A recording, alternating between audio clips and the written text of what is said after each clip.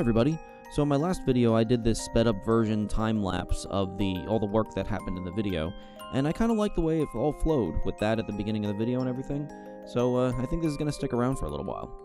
So today in this video we have a 2485 that had liquid damage, and it got the sleep angle sensor, the lid angle sensor, the sleep sensor, uh, liquid damaged.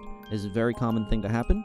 And uh, if you want to know more about what's going on, just uh, stick to after the time lapse, and uh, you'll see the whole video.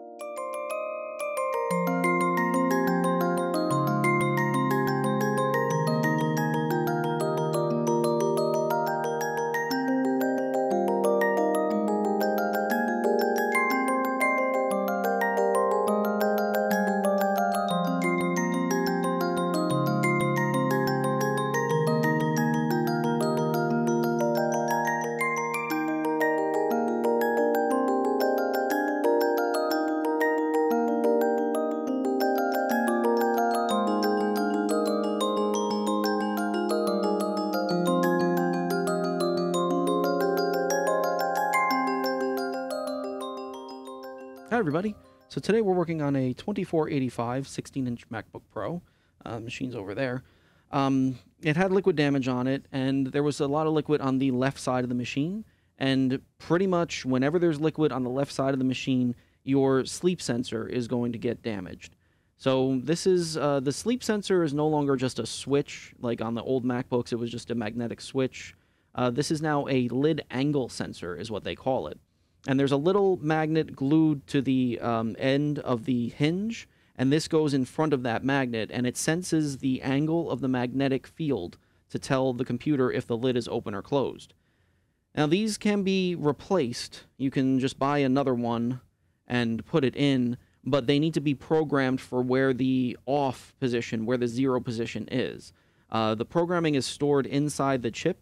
You can buy a programmer for it, um, I'm planning on making my own programmer because I want to learn more about how these work and how they store and how they sense and the, what pins are outputting for open and closed and all that stuff. So um, I, I'm going to be working on making my own programmer to program these. But in the meantime, I fix these. I've been fixing these for uh, a long time now. So we're going to go ahead and uh, see if we can fix this. There's usually two or three different ways that you can fix this. We can try to patch this one up and uh, run wires for the traces that are missing because there's always power going to this. So if it sits in water, the traces just rot away. Or we can take this chip off and put it onto a donor um, sensor. So we can get a brand new sensor, and as long as that chip is still okay, we can put the new chip or the uh, old chip onto the new sensor, and everything works just fine because the chip itself is what holds its uh, zero position. So the first thing we got to do is support this thing really well to solder on it.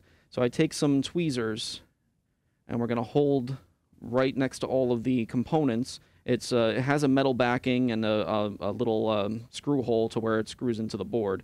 So we're going to hold on to that and then we're going to put it into the Omnivice, the device of gravity. Tighten it down on the tweezers and now we have a good solid um, base to work from here.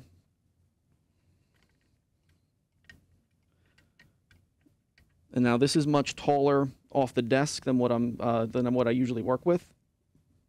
So we're going to get something to support your hand from while you're working on it. You want to be able to put your hand on something solid to work on this. We may actually need two. It all depends on where we need to go, what we need to do.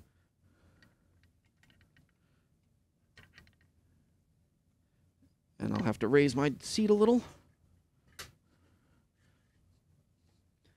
And let's take a look.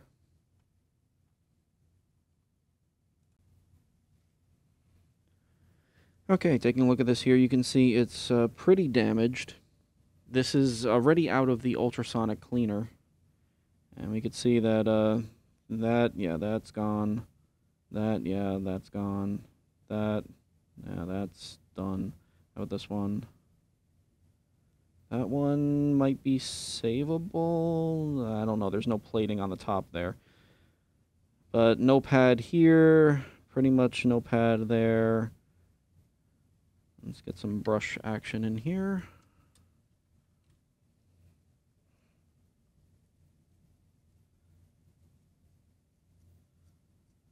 Let's get some rubbing alcohol brush action in here.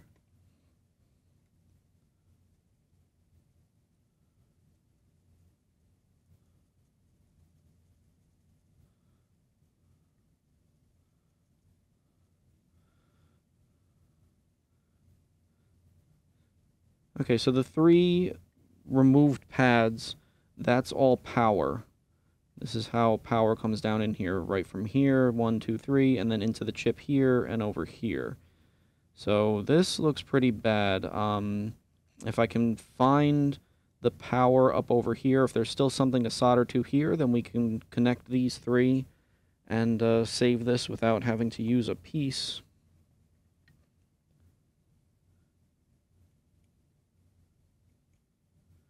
Oh man, no, there's no... There's nothing left there. So that the, there's supposed to be a trace that goes underneath here. So I can try lifting this up and try finding that trace. But I don't think that's going to work. Uh, the, this the, this is a situation that this chip is just going to have to come off of here and go on another donor board. So uh, let's get this chip off of here. A little bit of flux. Take some hot air.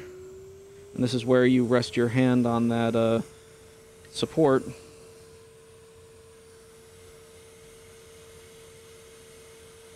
It's the only way you can keep your hand this steady.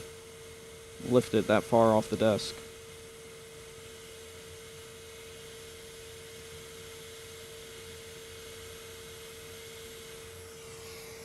Oh man, that looks bad. I hope this chip is savable. So let's get the chip on the desk and see how bad the underside is.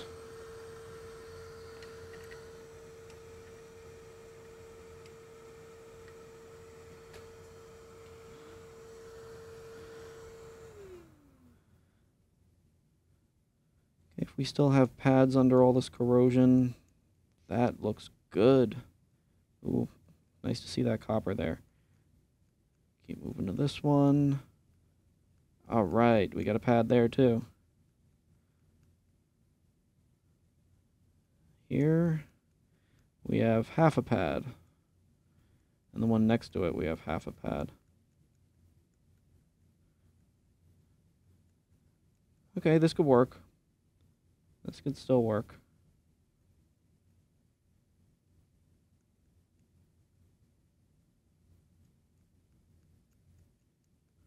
Just get all that corrosion off of there with your knife. Be very, very gentle.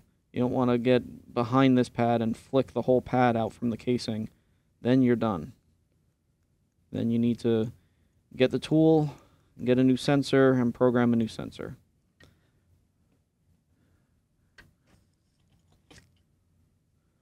The scrubby scrub.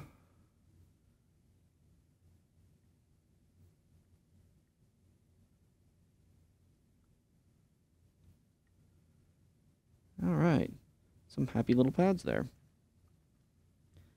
I'll put some flux on the bottom here, and we'll tin up those pads, get them looking good. Take my micro pencil, add some solder to it, some fume extraction. And I'll just put some dots of solder on these pads.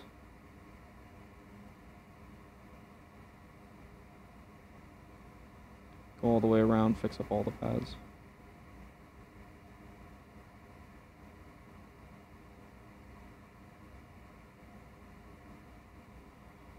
Yeah, this chip looks like it will be fine.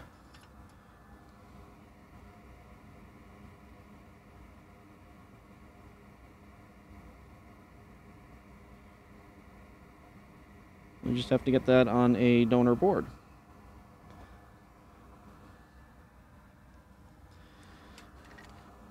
So we'll go ahead, take this one out. This is, uh, that's destroyed. Now we'll take our donor one, put that in the tweezers, and clamp that in the device of gravity.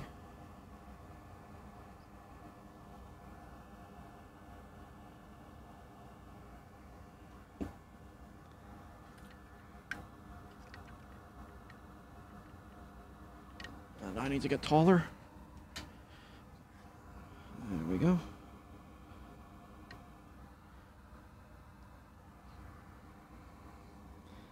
Okay, I did not pay attention to orientation before. So, okay, so it's, it's like we can read it. Top left corner is the pin 1.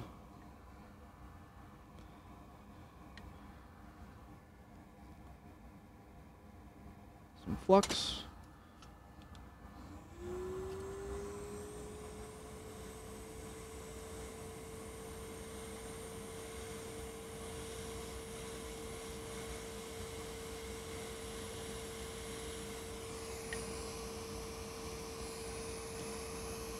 Okay, that one's off. Here's our old one. Get in the right orientation. I cannot see... Okay, I can see orientation. Cool. I doubt that comes across on screen, but I can actually read that. Oop. Whoa. Hey, you. Don't go that way. Oh, it's sticky with flux. I can't get it off my finger. Technical difficulties, please stand by.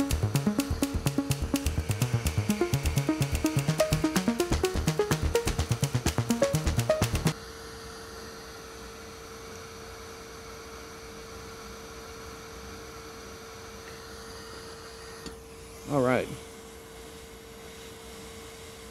When working with stuff this small, gravity usually does not help you.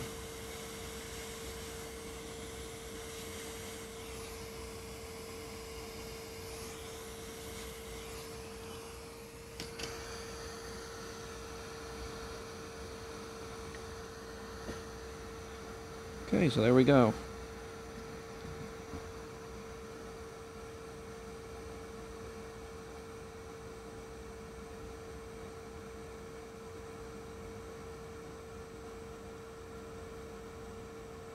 Those are the two pins that were half, so they look okay. They soldered well. Okay, we're ready to put this back in the machine. I'll put this back in the machine and uh, we'll see if it works.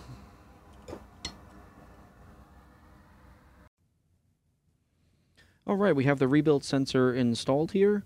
Um, what this was doing, what the issues that it presented with the uh, liquid damage sensor is you have it open, closed, it doesn't matter. You plug it in, it would not turn on. You would get 20 volts, uh, it would charge the battery, you wouldn't get fan spin, it wouldn't try to start up, it would just think that it's closed, so it would act like it's closed. It would never turn on.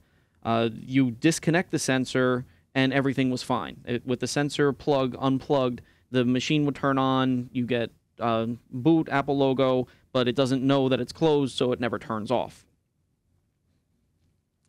So the new rebuilt sensor is in here. Let's plug it in and see if we get screen. I got 5 volts. I got 20 volts. Chime, and we have an Apple logo. So now let's see if it sleeps. I don't know if this is going to come across.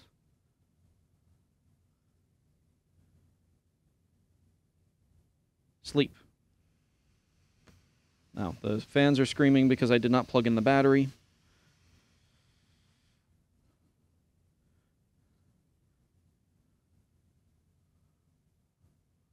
Trying to cover up the person's name. There. You can see the edge of the screen. Closing, closing, closing, sleep. Open. Not sleep. And the fans are going to freak out because I don't have the battery plugged in. So there you go. So that's how you rebuild a lid angle sensor. So you can just uh, use a, the new ones as donor boards, or you can get the tool and reprogram a new one. Either way. So I hope this helped you. Um, hope you learned something. Have a good day.